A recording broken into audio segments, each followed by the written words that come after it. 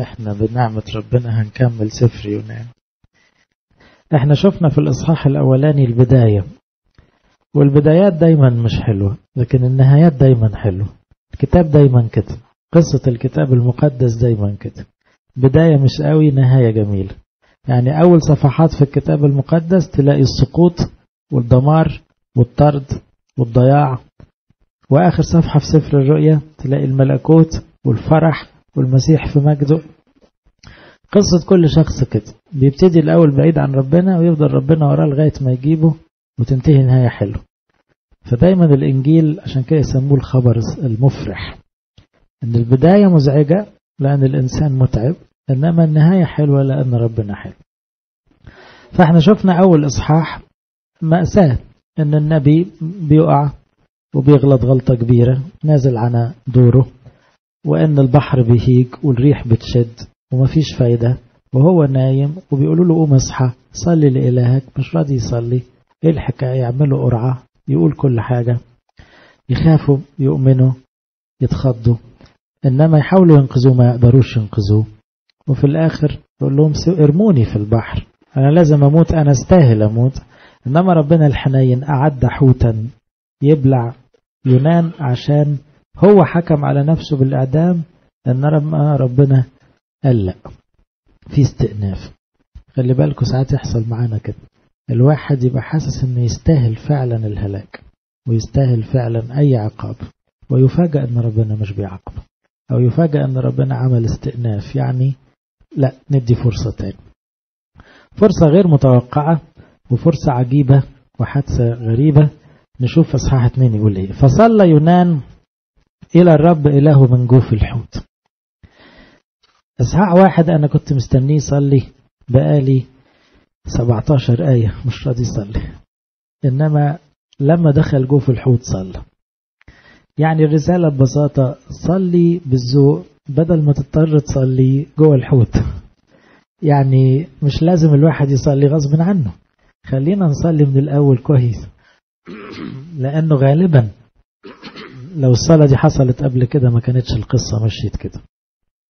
الصلاة دايما هي اللي بتغير الأحداث. برضو الكتاب واضح جدا في الرسالة دي إن دايما الصلاة تغير مجرى الأحداث. عشان كده بعد إصحاح اتنين هتلاقوا الأحداث اختلفت تماما. إنما إصحاح واحد عمال يتدهور الوضع لأنه ما فيهوش صلاة. أول ما يونان صلى الدنيا اتظبطت. صلى يونان إلى الرب إله من جوف الحوت يعني لما الدنيا بتشد قوي ما بيبقاش في حاجة غير الصلاة. وساعات ربنا يطير الناس من حواليك ويغير كل الظروف ويحبسك غصب عنك عشان تقول يا رب. ساعات توصل لكده. مرة كان واحد زميلنا في الكلية زمان جات له زي حادثة كده و يعني قعد فيها شهرين ثلاثة في السرير. إنما بعد كده قال لنا أنا بصراحة اكتشفت إنها هدية من ربنا. أنا عمري ما صليت في حياتي زي الشهرين دول. وعمري ما حسيت بربنا. والظاهر ما كانش ربنا لاقي طريقة تانية يخليني أركز غير كده. فإحنا طبعا بنقول خلينا بالذوق لكن حتى لو حصل كده الواحد ما ينزعجش لأن الصلاة هتعزيه وهتخلي الحوت سما. ده تعبيرات بقى أبونا تدرس تعبيرات القديسين. يقول لك الصلاة حولت جوف الحوت اللي زي القبر إلى سما. زي ما ربنا يسوع دخل القبر وحوله سما. عارفين في ليلة أبو غلمسيس في فلسفة جميلة قوي. الليلة دي إحنا مع المسيح في قبره. لما تدخل الكنيسة ما تلاقيش قبر تلاقي سما. الدنيا لابسة أبيض ونور وهيصة وزيطة وكل شوية نلف في الكنيسة و... وحاجة مفرحة جدا. طب إزاي؟ ده المسيح في القبر. أيوة ما هو المسيح دخل القبر بس خلاه سما. وقال يونان دعوت من ضيق الرب فاستجابني. واحدة من أجمل فضائل يونان بالرغم من غلطته الكبيرة إنما الراجل ده مليان فضائل. منها أنه اعترف قدام وثنيين بخطيته بالتفصيل لأنه متواضع. وهنا بقى صلاته تدل على إيمان ورجاء عجيب. من أول كلمة بيقول دعوت من ضيق الرب فاستجابني. الواحد يقول استجابني لما الحوت يفتح بقه لما يطلع. إنما هو من أول كلمة في الصلاة وهو جوه والدنيا ضلمة والريحة مش قوي غالبا. إنما فاستجابني طب استجابك إزاي؟ مفيش حاجة حصلت. لا هو عنده ثقة. بدل أنا صليت أنا متأكد أنه سمع. ده الإيمان بقى إيمان الأطفال. بيقول استجابني مفيش حاجة ضيرت بس هو متأكد. يفكرنا بإيليا النبي إيليا برضو من رموز الإيمان الكبار. قال لأخاب اجري روح بوتك بسرعة لحسن خلاص المطر هيغرق الدنيا. لأن هو اللي قفلها هو اللي قفل المحبس من ثلاث سنين ونص بكلمة. فجي يفتح المحبس علق. قال له يا رب افتح. مفيش رد. مفيش رد. وهو قايل للراجل روح بسرعة. ده ما يصحش. المطر هيغرق الدنيا. فجاب الولد قال له خليك كده على راس الجبل بص لازم في سحاب ولازم في مطر ما أنا اللي قفلت. فسجد للأرض وقال له يا رب افتح. قال له يا ولد في حاجة؟ قال له لا مفيش حاجة. طب إيه الموضوع؟ علق. إنما هو ما رجعش في كلامه لأنه كان متأكد إنه لازم ربنا يفتح. حتى بعد مرة بعد اتنين بعد عشرة بعد ألف هو لازم يفتح. فما كانش ورا غير كده. يسجد ويصلي يا ولد. ها في أخبار يقول له فيش أخبار؟ يرجع تاني. ما تشككش وما تهزش. وما قالش لحسن ويمكن و... لا. هو عنده ثقة إنه طلب الطلب خلاص. النهاردة بكرة بعد مئة سنة زي ما يحب ربنا بس خلاص مش هيرجع في طلبه. دعوت من ضيق الرب فاستجابني. صرخت من جوف الهاوية فسمعت صوتي. برضو إحساس حلو إن الواحد يبقى متأكد إن صوته مسموع عند ربنا. كلمة جميلة يقولها المرنم داود يقول أحمدك يا رب لأنك استمعت كل كلمات فمي. ليس كلمة في فمي إلا وأنت يا رب عرفتها. يعني مفيش كلمة وقعت لا. ده ربنا مفتح ودانه قوي. كل كلمة واصلة مية في المية. عشان كده في سفر الجامعة يقول إيه؟ لما تيجي تكلم ربنا لتكن كلمات قليلة. يعني نصلي قليل؟ لا. يعني فكر في كل كلمة بتقولها. لأن الرب عالي في السماء وأنت على الأرض. فخلي بالك ربنا فتح ودانه وما تقولش أي حاجة. ربنا مركز معاك. استغل الفرصة. خليك واعي لكل حاجة بتقولها. صرخت من جوف الهاوية فسمعت صوتي. لأنك طرحتني في العمق. في قلب البحار. طبعا هو إحساس عجيب محدش فينا ممكن يجربه أو يكون داقه هل ده إحساس واحد جوه غواصة؟ أنا برضو عمري ما ركبت غواصة. بس متخيل كده يعني أنه سامع صوت بحر براه. واخدين بالكم هم في جوف الحوت. طبعا علميا ثبت إن الكلام ده ممكن ينفع لأن هو مش في بطن الحوت كانت هضم لا ده في تجويف في رأس الحوت الحيتان الضخمة. في تجويف جزء من جهاز التنفس مرتبط بالحلق بتاعه. فزي أوضة القرار يسموه. فبيطلع الفضلات فوق والأوضة دي فيها هواء عشان كده يقدر يعيش فيها إنسان. واخدين بالكم؟ لأنه بيحتاج يعني اللي يدرس منكم علم الحيتان اكتشف إنها منطقية جدا لكن هو ما اتبلعش جوه على البطن. فهو قاعد في الأوضة دي اللي فيها تهوية وتكييف إنما سامع بقى صوت البحر وتحت. وحواليه شوية سمك بيلعب غالبا. فبيقول له أحاط بي نهر. أحاط بي نهر يعني في شوية مية طبعا حواليه فما يقدرش يقعد ولا ينام غالبا. فقعد ثلاث أيام على رجليه. ما مش هيعرف يقعد ولا ينام عشان هو مش راضي يصلي. طب هتصلي بالعافية وأنت واقف وثلاث أيام. جازت فوقي جميع طياراتك ولججك. قال له أنت عملت كل اللي عاوزه يا رب. بقيت إيه؟ بتسويني. جازت فوقي جميع طياراتك ولججك. موجة موجة واخدها كده إيه؟ سامعها وحاسسها وشايفها وكل حاجة. فقلت قد طردت من أمام عينيك. ده بقى الهاجس اللي يجي الواحد مع الإحساس بالذنب. إنسان بيحب ربنا وكان له عشرة طويلة وإذا كان هو الشخص اللي أقامه إلي في يوم من الأيام كطفل. يعني في في علاقة قديمة قوي. إنما مع العملة اللي عملها دي كان عنده إحساس بيقول له خلاص أنت اترفدت. أنت ما تنفعش تبقى نبي. اللي زيك ما ينفعش يبقى بتاع ربنا تاني. فقلت هنا قلت في نفسي يعني. هنا بقى الهواجس والشكوك الغلط. اللي بيرد عليها خلي بالكوا دايما في الأزمات يحصل حوار داخلي بين صوت ضميرك وصوت الروح القدس. ضميرك بيقول لك انت وحش ما تستاهلش. والروح القدس يقول لك ربنا بيحبك ومستنيك.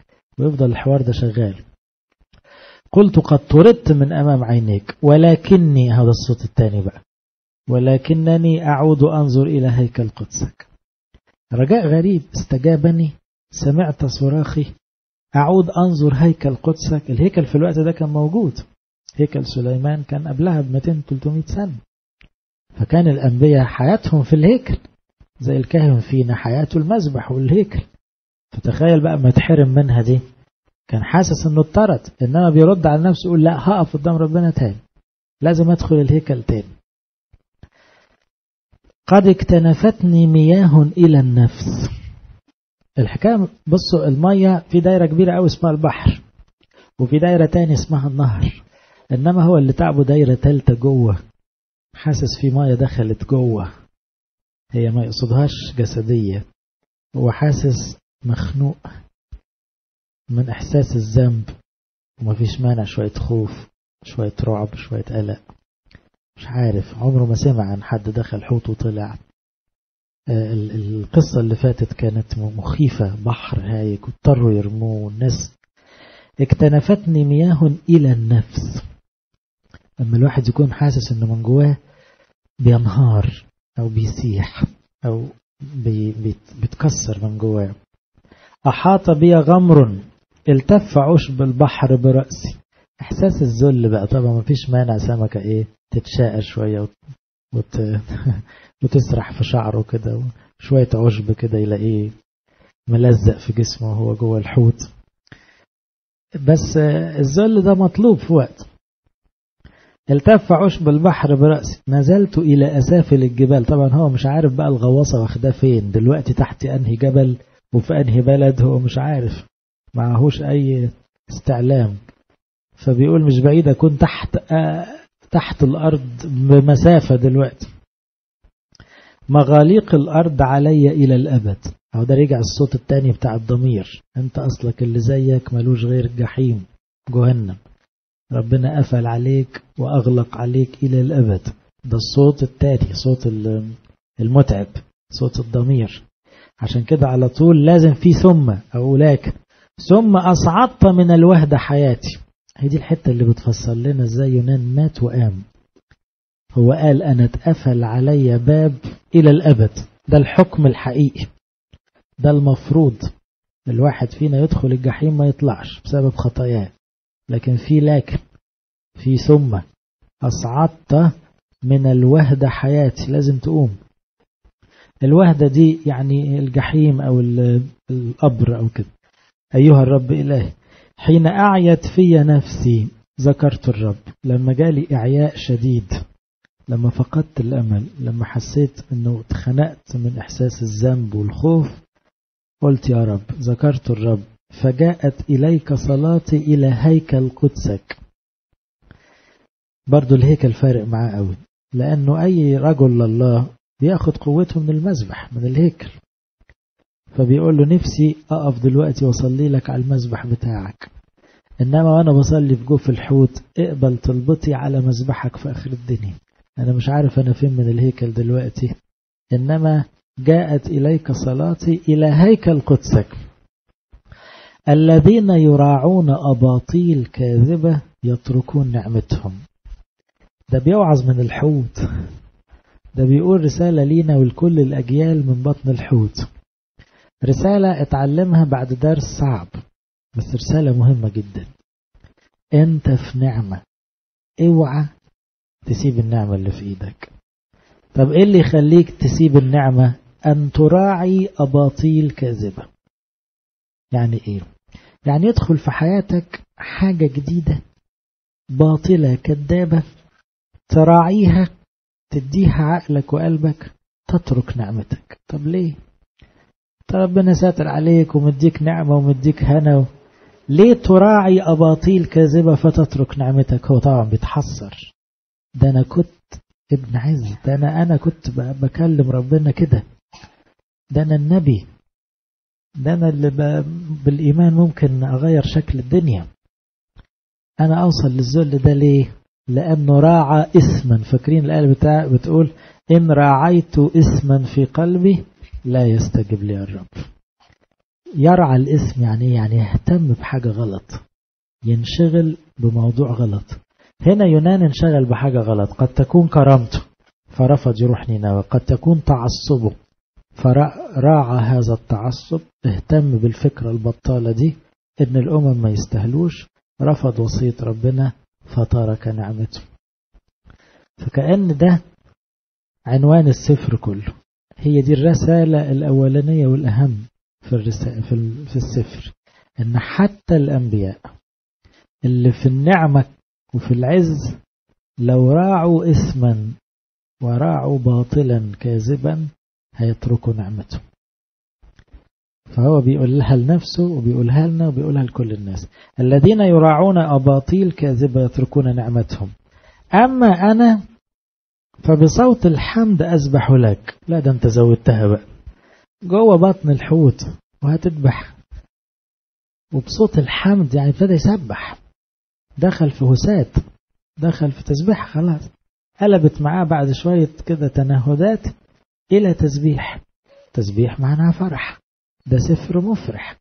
لكنه الفرح بدأ فين؟ العجب العجاب إنه بدأ في جوف الحوت. أول بشاير الفرح كانت في أصعب لحظات الإنسان. ده فرح. ما بدأوش قبل كده. بصوت الحمد أسبح لك. فرحان جدا. فرحان إزاي؟ ده اللي بيحسه الشخص وهو في شدة التجربة لما يصلي صح. وأوفي بما ندرته أوفي طب مش تستنى لما تطلع وتشوف هتوفي ولا مش هتوفي؟ قال لا لا أنا هطلع وهوفي. الندر اللي علي للرب الخلاص. يعني إيه؟ ما هي أصل ربنا اللي في إيده الحل. الحوت مش هيفتح غير لما يقول له افتح يا سمسم. ملهاش حل تاني. لازم يقول له افتح. فللرب الخلاص. فأنا عارف هو ربنا كان عاوزني أتوب. أديني توبت. يبقى لازم هطلع. فاهم ربنا كويس. يعني ما حدش يفتكر إن يونان إنسان شرير. لا هو وقع وغلط لكن هو فاهم ربنا واخد عليه مجربه كتير. فعارف إن ربنا طيب فعارف إن الصلوة دي هتفرق وهتغير مجرى الأحداث. فأمر الرب الحوت أول ما قال له للرب الخلاص قال له حاضر. أمر الرب الحوت فقذف يونان إلى البر. خلاص كده ما هو ده المطلوب من الحوت. متشكرين روح خد حالة حسابك وامشي. الحوت هو ده الغرض بتاعه. علقة سخنة صحيح بس هو كده خلص دوره. أمر الرب الحوت. كلمة عجيبة وجميلة. أمر الرب البحر فهاج. وأمر الرب الريح فهاجت. وأمر الرب الملاحين فنطقوا. وأمر رب الحوت ففتح بقه. كل ده ليه؟ عشان يونان يفوق وده اللي بيحصل في حياتنا كل يوم. ربنا يؤمر كل الظروف وينطق كل الأحداث عشان تقول لك حاجة. بس الشاطر اللي يفهم. ثم صار قول الرب إلى يونان ثانية قائلا. طبعا الواحد فينا ساعات يفكر يقول إيه ده؟ أنا لو مكان ربنا كنت جبته بقى إيه؟ سويته. يعني إيه؟ مش إحنا. شفت بقى يونان؟ لما أنت مشيت ورا دماغك حصل إيه؟ مش كان المفروض تمشي ورايا من إمتى أنا أقول وأنت ما تسمعش الكلام؟ ولا كلمة ولا عتاب ولا أي نوع من المؤاخذة كأن ولا حاجة حصلت. ربنا ده عجيب صحيح. ولا كأن في حاجة. قال ليونان روح نينوى كأنه أمر جديد كأن اللي فات ده خلص. أمر الرب يونان قائلا قم اذهب إلى نينوى المدينة العظيمة ونادي لها المنادات التي أنا مكلمك بها. روح ونادي عليها الندى اللي أنا هقول لك عليه. فقام يونان وذهب إلى نينوى بحسب قول الرب. أما نينوى فكانت مدينة عظيمة لله مسيرة ثلاثة أيام. بصوا خلي بالكم هو قعد ثلاث أيام في الحوت. نينوى مدينة كبيرة نسبيا في زمانهم تتلف في ثلاث أيام. أظن اللي قعد ثلاث أيام في الحوت لو قال له لف 30 سنة يلف. بس بلاش حوت. ثلاث أيام في الحوت يعلموا الواحد الأدب. ده هي المأمورية ثلاث أيام قصادها كان ثلاث أيام. على رأي أبونا تدرس لما كان يقول الواحد مفروض يصلي قد ما بيخدم. طب أنت صليت ثلاث أيام بالعافية هتخدم ثلاث أيام. فقال له يلا معاك مأمورية. ثلاث أيام تلف البلد تخلصها فقام يونان وذهب إلى نينوى بحسب قول الرب. أما نينوى فكانت مدينة عظيمة لله مسيرة ثلاثة أيام. فابتدأ يونان يدخل المدينة مسيرة يوم واحد. إيه بقى الكرواتة دي بقى؟ كرواتة من أول طب ده إحنا لسه طالعين من الحوت. يعني اختشي يكون في أسد بعد كده ولا حاجة. يعني ده ملحقناش إنما الواحد فينا صحيح. يوعد وي... ويلتزم وبتاع أول ما تبقى الدنيا يعني شدة شوي. أول ما تفك يفاصل ويقاوح ويراجع الموقف. فلفها في يوم ونادى وقال بعد أربعين يوما تنقلب نينوى يا ترى هي دي الرسالة اللي قالها له ربنا؟ وقال له نادي المناداة التي أنا مكلمك بها. مش عارفين. الوحي ما قالش بالظبط. هي دول الكلام اللي قاله ربنا اليونان يقوله ولا ما قالش كده؟ أصل الواحد متعود إن ربنا يقول إيه؟ توبوا لحسن. مش دي طريقة ربنا دايما؟ توبوا يا ناس شركوا زاد. ده ممكن يحصل ويحصل. كفاياكم. إنما هو جاب آخر حتة بس في النص اللي هي إيه؟ هتخرب بعد 40 يوم هتخرب. طب وهو ده كلام يخلي الناس تتوب؟ إيه يعني الكلام اللي أنت قلته؟ فتلاحظوا إنه ما نعرفش هو كان جزء كبير من الرسالة وقال آخرها ولا قد تكون هي دي الرسالة إنما هي رسالة قصيرة جدا ورسالة بصراحة غير مشجعة. بعد أربعين يوم تنقلب المدينة. بس خمس كلمات.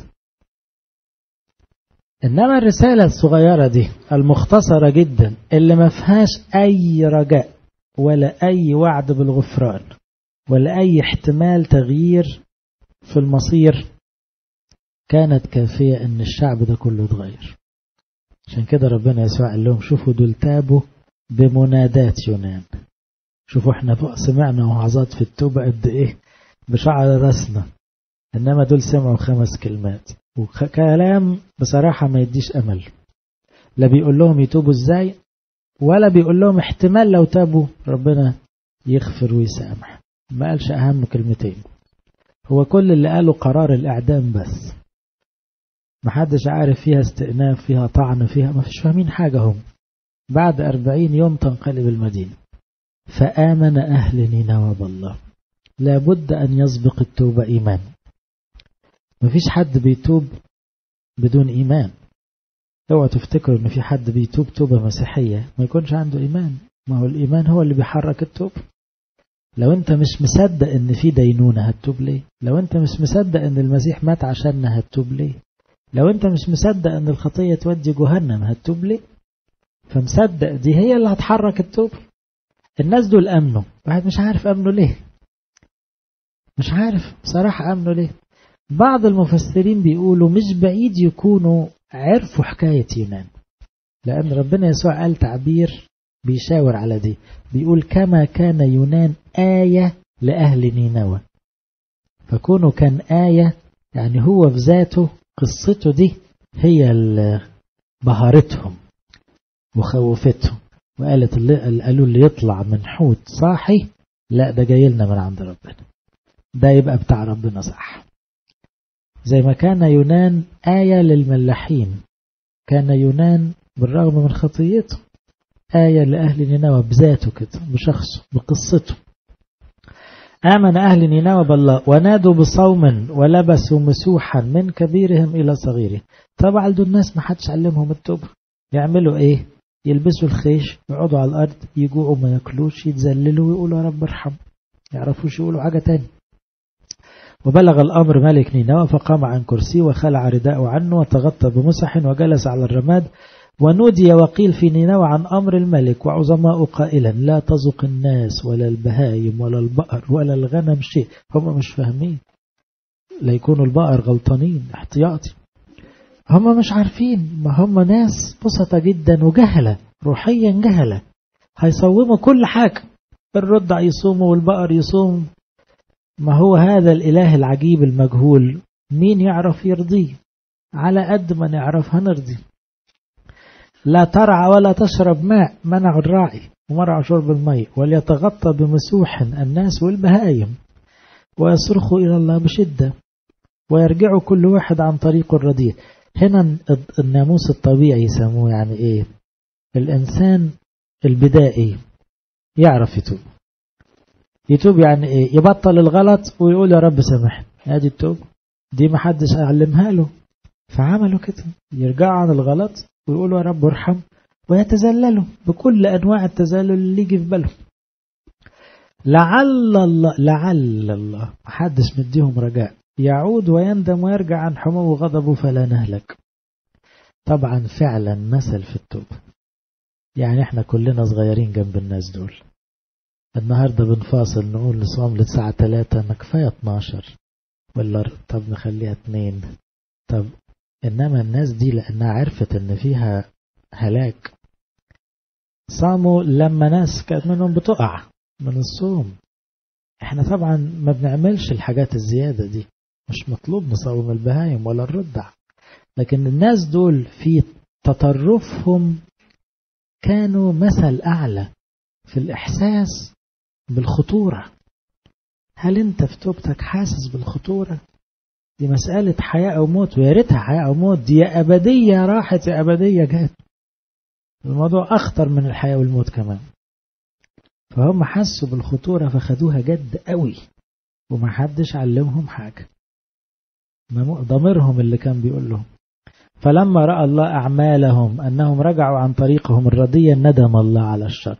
طبعا كلمة ندم كلنا فاهمينها كدارسي كتاب مقدس أن دي الكلمة اللي في, في القاموس البشري. يعني أنت لما ترجع عن قرار خدته اسمها ندم. فربنا بيستخدمها عشان يقرب المعنى.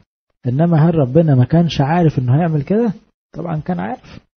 كان عارف إنه هيسامح. بس ما رضاش يقول كده عشان الناس تاخدها جد. فبان قدام الناس كأنه رجع في كلامه لكن ده مش رجع في كلامه لأنه ما كانش عارف اللي هيحصل. فرق كبير. عشان كده في آية في حسقيال تقول هل الله إنسانا فيندم؟ يعني اوعى تفتكر إنه بيندم ندم الإنسان العادي. ده مجرد تعبير عن تغيير القرار. والقرار لما ربنا قاله من الأول كان عارف كويس هيعمل إيه بعد كده. أو ابسطها لكم بمثل لأنها بتعمل مشكلة عند بعض الناس الكلمة دي. ما يكون فيكم أب عاوز يشد على ابنه عشان غلط غلطة جامدة. يقول له طيب بص النهاردة بالذات مفيش فسحة. كون متفق مع مامته إنها تروح تقول له شفت بابا زعل إزاي؟ ما أنت برضو كنت غلطان. تعال بقى نعتذر ونقول له يا بابا مش هنعمل كده تاني ونحاول معاه. مؤامرة بين الأب والأم شغل كبار يعني. فإيه الولد يصدق ويروح لأبوه ويقول له سوري يا بابا مش هعمل كده تاني. وبتاع يقول له خلاص المرة دي بس آخر مرة. فالأب يبان إنه رجع في كلامه. هو من الأول ناوي. واخدين بالكم؟ بس هي كانت إيه سيناريو كده بس عشان الولد يتربى. فربنا كان ناوي يسامحهم لأنه بسابق علمه شاف لكن ما كانش هيقول كل حاجة من الأول. فغم ذلك يونان غما شديدا. يا يونان كفاية بقينا في إصحاح أربعة. نتعدل بقى. يعني الدنيا ماشية حلو قوي. الناس تابت المفروض إن يونان يبقى فرحان. المأمورية ناجحة تمام. أكثر مما يتوقع. إنما كشفت ما في قلبه. كشفت لنا اللي حصل في إصحاح واحد. هو ليه مرضاش يروح؟ حاجتين بيفسروا دي. الأولى إنه مش بيحب الناس دول. فلأنه مش بيحبهم رايح مكره ولأن ربنا سامحهم وكافئهم حاجة تغيظ بالنسبة له تغيظ. الحتة التانية بقى إيه؟ غم ذلك يونان غما شديدا فاختص وصلى إلى الرب وقال آه يا رب. قولوا أنتوا بقى الحتة التانية. أليس هذا كلامي؟ إذ كنت بعد في أرضي. لذلك بادرت إلى الهرب إلى ترشيش لأني علمت أنك إله رؤوف ورحيم. دي غيظابة. بطيء الغضب وكثير الرحمة نادم على الشر. في حتة كبرياء أو في حتة ذات أو في حدة أنا كلمتي ما تنزلش. هروح أقول لهم بعد 40 يوم تتقلب المدينة وأطلع بعد كده كلامي في الهواء يعدي ال 40 يوم وما يحصلش حاجة؟ وأنا كنت عارف أصل إنك هتعمل كده. شوفوا بقى عارف ليه؟ عارف لأنه عارف ربنا إنه طيب. شوفوا ربنا أطيب من الإنسان بكتير. في التسامح وفي الرحمة مفيش إنسان يجي جنب ربنا.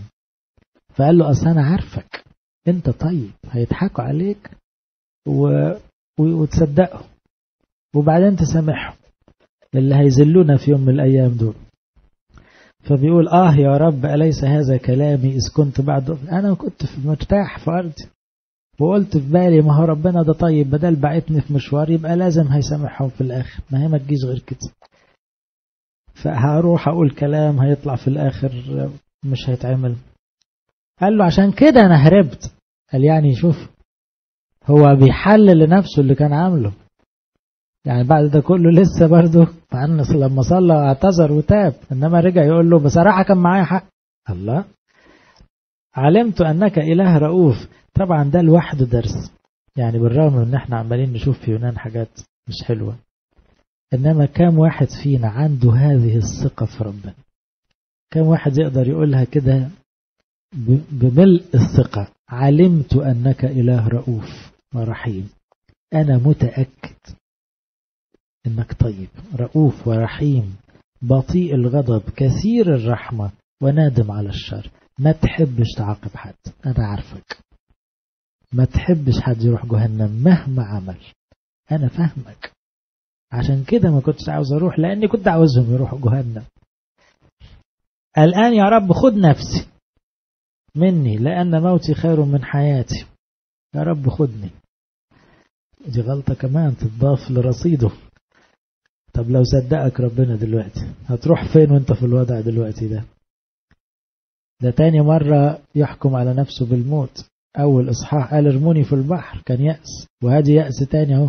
في ناس بالرغم من مستواها الروحي ممكن تقع في حرب اليأس. يا رب خدني خلاص ملياش لازمة. إيه اللي مخليك يعني؟ ده المفروض تبقى مهيص معاهم وفرحان بيهم. حد يطول يشوف شعب كده تعادل حاله وبطل خطية يا رب خدني لأن موتي خير من حياتي. لو ربنا واحد زينا بقى كان بصراحة رفضه تمام بقى. قال له انت بتجيش بالذوق. يعني مش معقول بعد ده كله تقول الكلام ده. إنما ربنا سأله سؤال بمنتهى الوداعة قال له يونان عاوز أسألك حاجة. هو أنت معاك حق في اللي بتقوله؟ هل اختصت بالصواب؟ هو أنت شايف اللي أنت بتقوله ده منطقي؟ أم وتلاقي يونان ما ردش عليه خالص. حاجة يعني هنا تحسوا بقى إن ربنا اللي بيمتص غضب يونان. تصوروا؟ مع إن يونان ملوش حق في اللي بيعمله خالص. إنما ربنا في اتضاعه كأب. يونان بيلخبط وربنا بيطيب خاطره. فبيقول له حبيبي بس فكر في اللي بتقوله. معقول اللي أنت بتقوله ده يكون معاك في حق. تزعل إن أنا طيب وسامحت الناس. أنا نزلت كلامك في الأرض. طب ما دي كلمتي أنا مش كلمتك. بعد 40 يوم تتقلب المدينة. كنت أنا بالأولى اللي أقول ما يصحش كلمتي ترجع. بقى أنا مش زعلان إن كلمتي رجعت وأنت زعلان إن كلمتك رجعت؟ هل اختصت بالصواب؟ ساعات الواحد يبقى محتاج السؤال ده. أنت متغاظ ليه؟ ربنا بيقول للواحد فينا كده. مالك متغاظ على إيه؟ أنت اللي زيك المفروض يتحاسب ويتحاكم و... إيه اللي غيظك ده المفروض تبقى مبسوط. وخرج يونان من المدينة وجلس شرقي المدينة وصنع لنفسه هناك مظلة قفش تاني. ومش عاوز يصلي. وجلس تحتها في الظل حتى يرى ماذا يحدث في المدينة. الظهر كان عشمان يرجعوا تاني. يغلطوا. فربنا يقلب عليهم. أو عاوز يتفرج على التوبة لأنها توبة عجيبة. تصرفات عجيبة. الناس اتغيرت فعلا. حالها 180 درجة. رجعوا عن طرقهم الشريرة. فأعد الرب الإله نفس التعبير اللي اتقال في الحوت. أعد الرب الإله حوتا. هنا المرة دي أعد الرب الإله يقطينا. يقطينا دي بيقولوا حاجة زي اللبلاب كده. بس العجيب كانت عندها أوردر إنها تطلع في يوم. لأنه ما فيش وقت. تطلع في سنة يكون اتحرق من الشمس. فجاي أوردر عجيب إن اليقطينة دي تطلع وتضلل عليه في نفس اليوم. فارتفعت فوق يونان لتكون ظلا على رأسه لكي يخلصه من غمه. ده بالظبط زي واحد عمال يطبطب على واحد كده ويعمل له كوباية ليمون ويقول له طب بس ما تفكرش طب هدي أعصابك طب انسى الموضوع خالص. خلاص بلاش نتكلم في نينوى دول بعفرتوك. بلاش بلاش السيرة دي. ففرح يونان من أجل اليقطين فرحا عظيما. يبان برضه إن هو زي الأطفال. يفرح قوي ويزعل قوي. ثم أعد الله. القصة مش راضية تخلص أعد حوتا وبعدين أعد يقطينة. دلوقتي أعد دود عمال ربنا يصغر. في الأول كان بيشتغل بالحوت وبعدين باليقطينة دلوقتي بالدود. عند طلوع الفجر في الغد فضربت اليقطينة فيبست. برضو دي إشارة أنه ممكن دودة تبوظ الدنيا يعني خطية صغيرة عاوز يقول له أنت في دودة ملخبطاك. حاجة صغيرة مستخبية جواك هي اللي معفرتاك مخلياك محروق. فيبست. وحدث عند طلوع الشمس. الشمس شدت بقى. ما لقاش اليقطين اللي بتضلل عليه أن الله أعد ريحا شديدة. طبعا ربنا أحكم الحكاية بقى. فمش بس شمس ريح خمسيني شديدة عشان تعرفوا إيه؟ طعم الحر صحيح. فضربت الشمس على رأس يونان فدبل. فطلب لنفسه الموت وقال موتي خير من حياتي. تاني. هذا النبي العظيم المشاغب. إنما مثل جميل يدينا رجاء. إحنا بنعمل الحركات دي أكيد وأكتر. إن إحنا ربنا يدينا كتير ونرجع نخيب تاني ونقول كلام ملوش لازمة وربنا يطول باله ويرجع يحايل. وبعدين مع أقل مشكلة نرجع نقفش تاني. ونركب دماغنا ونقول أصل وفصل ويا ريت نموت. الله. فقال الله ليونان يونان مش راضي يصلي كل ده مستنيه يصلي. قام ربنا قال له أكلمك أنا بقى وأنت مش راضي تصلي. هل اختصت بالصواب من أجل اليقطينه طب يا سيدي أنا مفوت لك من أجل نينوى هقول معاك حق تتنرفز. دلوقتي معاك حق تتنرفز عشان موضوع اليقطينه فقال اختصت بالصواب حتى الموت. هو مستنيه يقول له سوري أنا معيش حق طبعا. أنا بس كنت فرحان بيها. أصل هو ما تعبش فيها. خالص. فالمفروض ما يعني ما يزعلش الزعل ده كله. قال له لا طبعا متغاظوا معايا حق. وبرضه ربنا في هدوءه العجيب يحتمل. فقال الرب آخر كلمة بقى أنت شفقت. أشفقت. على اليقطين التي لم تتعب فيها. ولا ربيتها التي بنت ليلة كانت وبنت ليلة هلكت. يعني إيه اللي أنت مزعلك؟ لا تعبت فيها ولا ربتها ولا قضيت معاها عشرة طويلة ولا حاجة. زعلان كل الزعل ده؟ أفلا أشفق أنا؟ هذه العلاقة بقى. زي علاقة يونان باليقطينة. في علاقة أعمق وأعظم بين ربنا وكل البشر. أفلا أشفق أنا؟ على نينوى المدينة العظيمة التي يوجد فيها أكثر من 12 ربوة من الناس ربوة يعني 10,000 الذين لا يعرفون يمينهم من شمالهم وبهايم كثيرة يعني إيه؟ يعني قال له أنت حبيت اليقطينة جدا وفرحت بيها. أنا بحب الناس جدا. وانت حبيت يقطينة ما تعبتش فيها. أنا تعبت في الناس جدا. أنا معاشرهم يوم بيوم ساعة بساعة. أنا عيني عليهم من قبل ما يتولدوا. عاوز بسهولة قوي تتصور إن هم يهلكوا. شوف أنت زعلت قد إيه على اليقطينة؟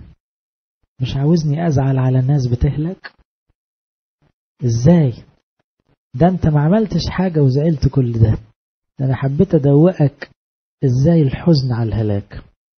عشان تعرف قد إيه ربنا بيحزن على هلاك إنسان. عشان تفرح لخلاص كل إنسان. سفر مفرح جدا وينتهي نهاية عجيبة. إنه بالرغم إنه أول إصحاح بيقول صعد شرهم أمام الله أتاري ربنا بيقول في باله إيه؟ لا يعرفون ماذا يفعلون. يمينهم من شمالهم غلابة برضه ما يعرفوش حاجة. طب لماذا ذكر البهائم الكثيرة الظاهر لأن البهايم صامت. فربنا برضو إيه يعني بص للبهايم. يعني عشان كده يقول مدينة عظيمة فيها ناس وفيها بهايم. طب يا رب ما أنت يعني تحب الناس أكتر. إنما الله محب للطبيعة كلها. من أجمل الأسفار اللي تحس فيها الطبيعة واضحة. بحر حوت يقطينة دودة بهايم. واخدين بالكم؟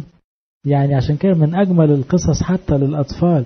ربنا محب البشر جدا ومحب الطبيعة جدا. لإلهنا كل مجد وكرامة الأبد